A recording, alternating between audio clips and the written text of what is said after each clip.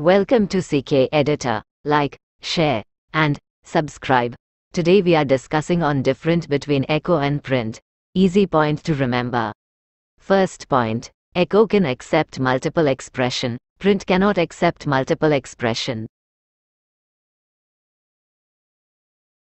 Second point. Echo does not return any value. Print return value 1.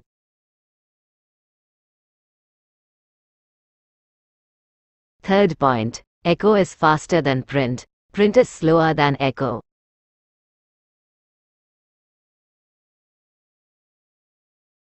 Fourth point. Echo can pass multiple argument. Print cannot pass multiple argument.